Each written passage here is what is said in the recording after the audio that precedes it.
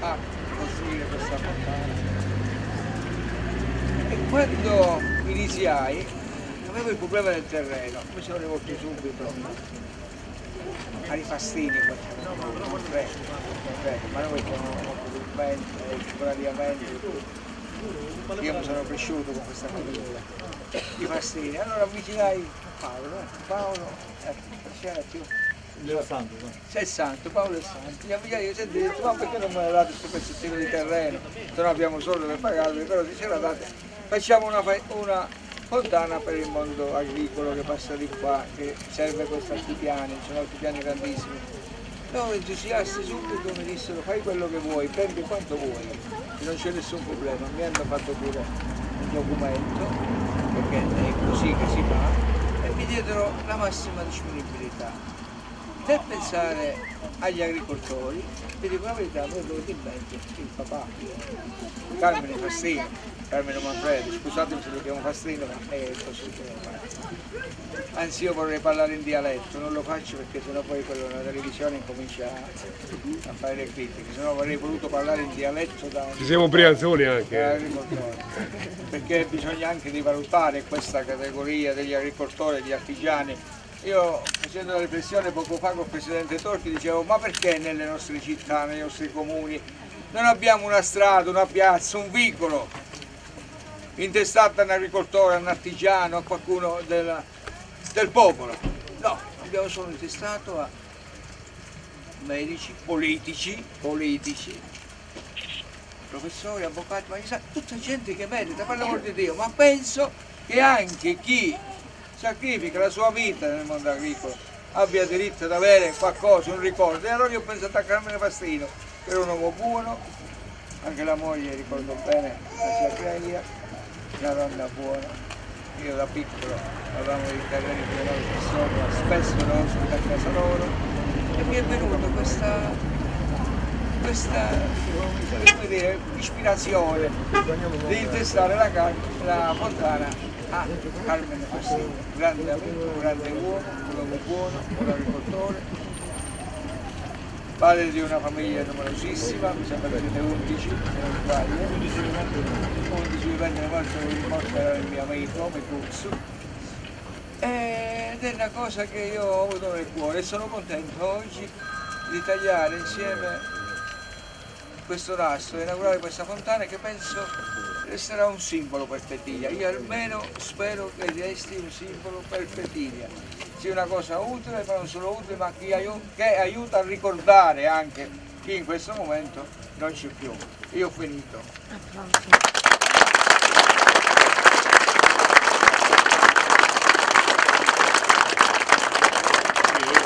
Aspetta, aspetta, aspetta, aspetta. Un applauso per zio Carmine.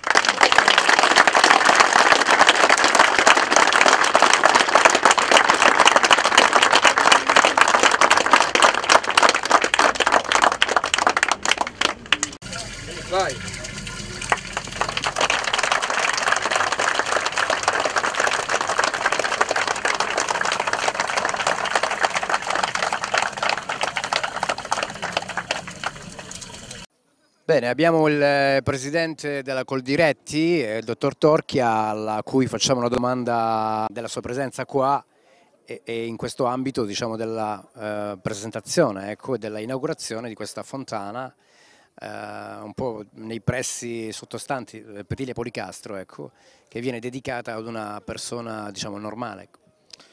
Eh, sì, no, noi abbiamo condiviso e credo che sia anche da enfatizzare la scelta del sindaco di Petilia di eh, intitolare questa fontana a un coltivatore eh, della terra, un coltivatore diretto, una persona che nella quotidianità ogni giorno abbia dato il suo contributo allo sviluppo e all'economia di questa, di questa terra, senza andare nelle notizie dei media, senza eh, essere riportato alla cronaca della ribalta, ma con un lavoro oscuro, quotidiano, quello che poi fa andare avanti poi il nostro, il nostro paese. Il riconoscimento a uno che rappresenta il nostro mondo.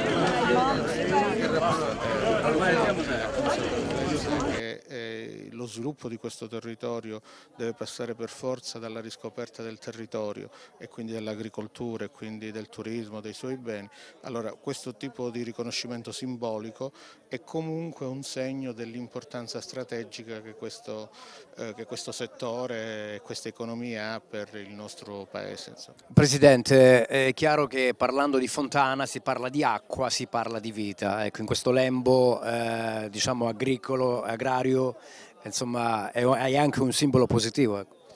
Eh, paradossalmente nonostante il grande caldo che abbiamo la Calabria è una regione ricca di acqua però ciò climatici si stanno verificando, eh, noi dobbiamo utilizzarli in maniera più razionale e diciamo, dare il valore che essa merita e su questo si giocano le sfide del prossimo medio eh, futuro, immediato e poi medio, eh, perché l'acqua è fondamentale per l'agricoltura, per, per, i prodotti del Made in Italy, quelli che poi ci permettono, eh, tra l'altro è l'unico settore della Calabria che ha un segno positivo nell'export agroalimentare, quindi questo significa che l'importanza che ha questo settore è questo settore senza acqua non si può, eh, non si può pensare di poter produrre eh, e quindi vi è la necessità di investire in questo, in questo ambito, eh, di riammodernare le reti già esistenti ma di prevedere anche altre dighe di accumulo perché probabilmente i prossimi eh, decenni ci vedranno dei periodi in cui ci saranno grosse piogge ma anche grossi periodi di siccità perché stiamo andando verso questa tropicalizzazione del, del clima e quindi bisogna cercare di prevedere e di far fronte diciamo, alle, alle dinamiche di questa evoluzione. Questo la dice lunga anche sul fatto delle bombe d'acqua, eh, non piove più come, come, una volta, è chiaro che, diciamo che una bomba d'acqua in un certo periodo della fioritura ne va per la distruzione del, del, del futuro frutto. Ecco. Eh, una, una, domanda così generica, ecco, eh, eh, come va il mercato agricolo nella nostra provincia, provincia di Crotone?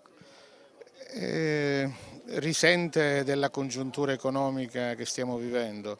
Se lei vede le notizie c'è a picco il mercato della frutta, il mercato degli ortaggi e per una mancanza di disponibilità economica e una maggiore razionalizzazione delle spese delle famiglie che non, non, non acquistano più del dovuto, più del necessario.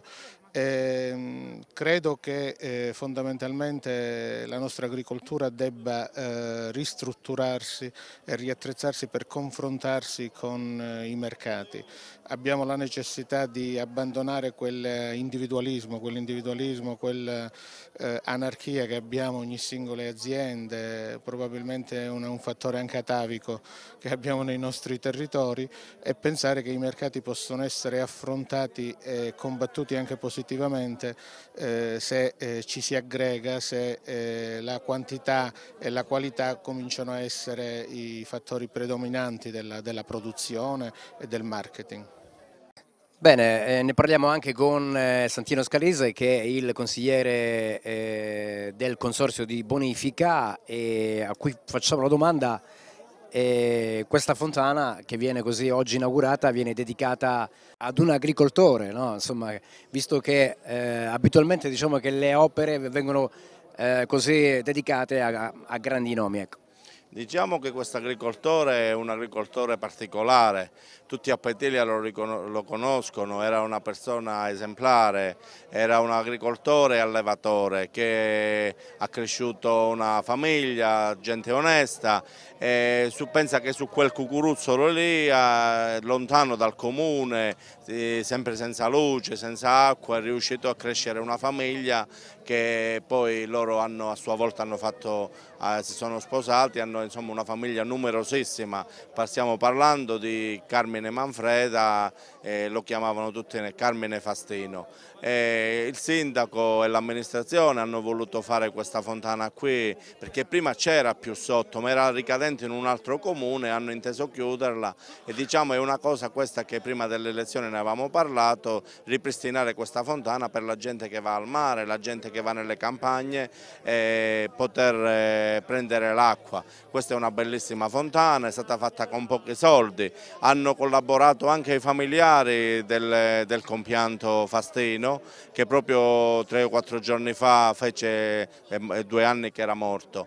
Eh, ringrazio la televisione che sono qui presenti, oggi qui sono presenti le associazioni agricole, eh, petiline e provinciali, sono presenti, presente anche il direttore dell'ARA provinciale Francesco Coluccio e il presidente del consorzio di bonifica Ionio Crotonese Torchia. Bene, ne parliamo anche con Alfonso Felice che fa parte del FLAC GL Crotone, sempre nel mondo agricolo. Ecco, eh, il tuo pensiero su questa eh, inaugurazione di questa fontana? Ecco.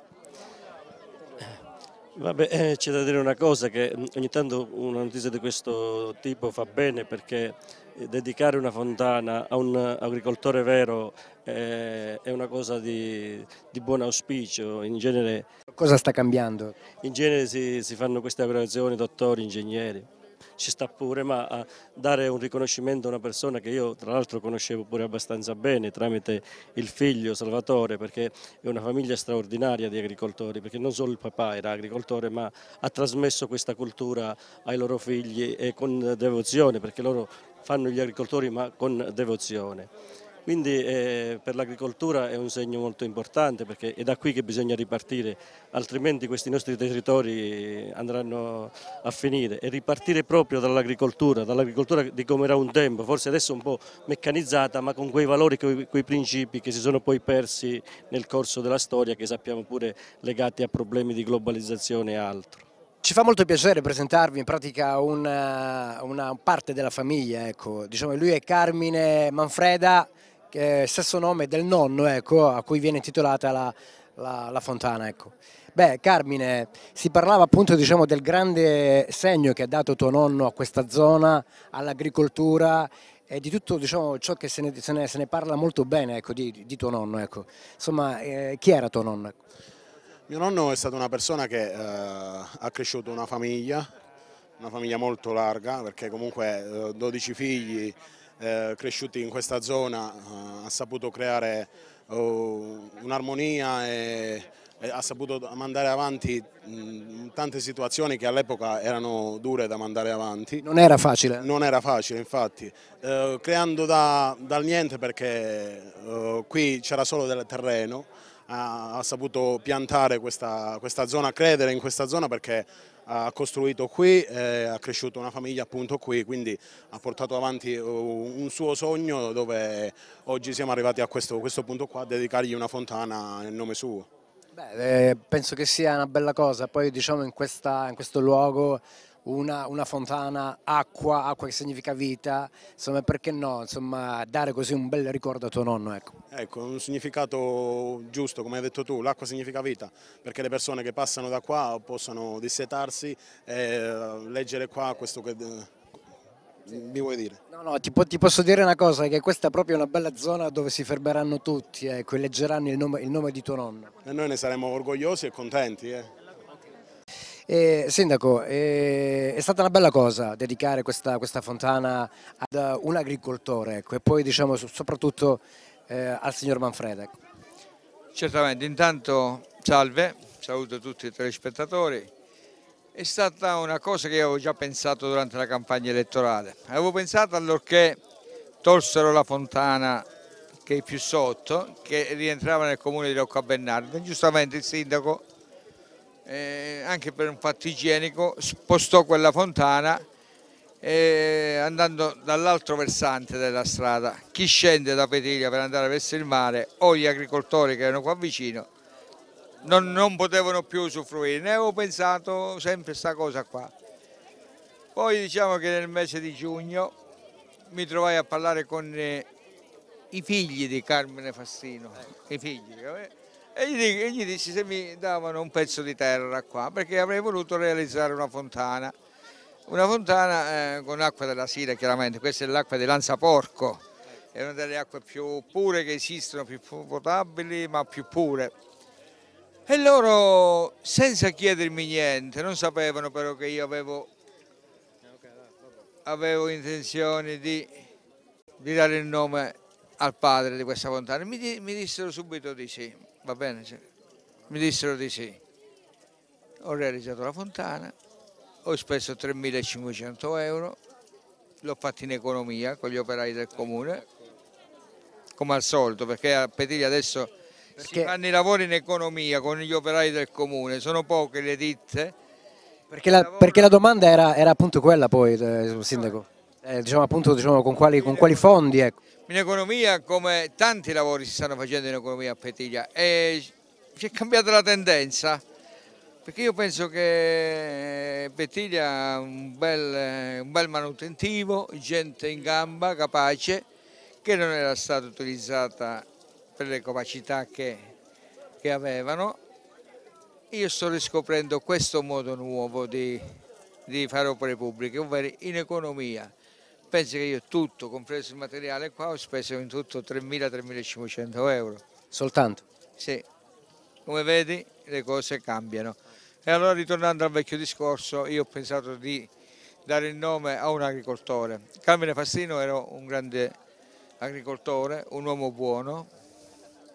Io l'ho conosciuto da piccolo, era molto piccolo quando io frequentavo la sua casa che era lì sopra. E allora non c'erano alberi in questa pianura, qui c'è un altopiano di quasi un centinaio di ettari dove non c'era un solo albero, c'era solo la casa di Manfreda. Aveva una tettoia in legno, ricordo, e ci ospitava tutti. Chiunque passasse di là ci faceva sedere, ci offrivano il caffè, la moglie, la zia Clelia, Clelia ricordo, ci offriva un caffè, ci offriva un bicchiere d'acqua fresca, gente disponibile, un agricoltore, un agricoltore di quelli veri, quelli col cuore in mano. E io poi ho fatto un'altra riflessione, ma noi abbiamo tantissime strade, vie, viuzze, piazze, piazzette, strade, ma non mi è sembrato di vedere intestato a qualche agricoltore a Petiglia Policastro qualcosa, ma nemmeno nei comuni limitrofi, di quello che so io. Ma perché gli agricoltori non sono una categoria di rispetto o una categoria che merita? È una categoria che fa molti sacrifici, ne fa molti di più di chi sta seduto dietro una scrivania. Sono gente che sta sotto il sole 12 ore al giorno, a volte ci sta 16 ore al giorno per magari non portare a casa manco uno stipendio decente. E allora è gente che si sacrifica e io ho voluto premiare Freddo con l'acqua. freddo con l'acqua senza a volte manco un riparo. Ho voluto premiare questa persona prima per la sua bontà, poi per quello che ha rappresentato e, e per invertire una tendenza. Anche gli agricoltori, gli artigiani, ma tutte le categorie produttive hanno diritto di avere un riconoscimento pure loro. Li trattiamo sempre come gli ultimi, l'ultima ruota del carro, non è così. Sindaco, eh, qualcosa sta cambiando. eh? Sì, ma deve cambiare, deve cambiare. E io, io ci credo, guarda, io ci credo. Perché la- bisogna dare pure i meriti a tutte le professionalità. Qua si- invece si pensava all'avvocato, al professore, al medico e poi gli altri, al politico. Politici, eh, i politici, molte strade hanno i politici intestate. Lasciamo perdere. Beh, oggi ve- vediamo bella gente qua a questa... A questa... gente spontanea, e ringrazio pure il corpo forestale che vedo presente, ringrazio le autorità, eh, ci sono diversi sindaci, ma sono contento, sono contento di questa giornata. Bene, grazie.